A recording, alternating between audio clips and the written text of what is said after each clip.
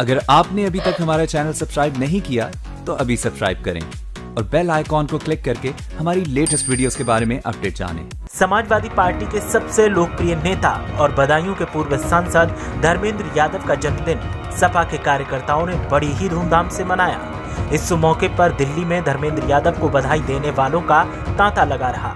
पूरे यूपी से धर्मेंद्र यादव के चाहने वाले दिल्ली पहुँचे और जन्मदिन की बधाई दी। इस कड़ी में लोहिया वाहिनी के राष्ट्रीय अध्यक्ष चंद्रशेखर यादव के अलावा फूलपुर के पूर्व सांसद नागेंद्र पटेल ने भी धर्मेंद्र यादव को जन्मदिन की बधाई दी और उनकी लंबी आयु की कामना की। साथ ही संबल ज़िले के सपा जिला अध्यक्ष फिरोज खान भी धर्मेंद्र यादव को बधाई देने पहुँचे और केक काटकर धर्मेंद्र यादव का जन्मदिन मनाया।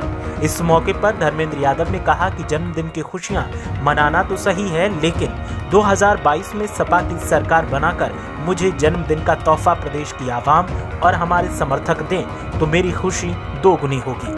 साथ ही देश के मौजूदा हालात पर भी चिंता ज़ाहिर करते हुए धर्मेंद्र यादव ने तमाम मुद्दों पर अपनी राय दी और मौजूदा सरकार को जमकर खरी खोटी सुनाई। ब्यूरो रिपोर्ट मीडिया हलचल।